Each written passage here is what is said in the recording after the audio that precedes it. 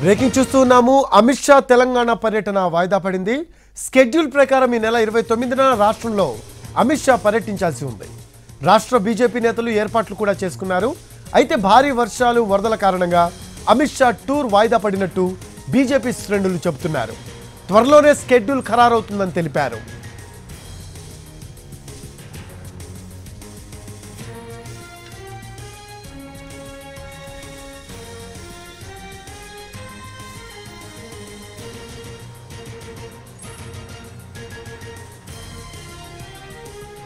అమిత్ షా తెలంగాణ పర్యటన వాయిదా పడింది.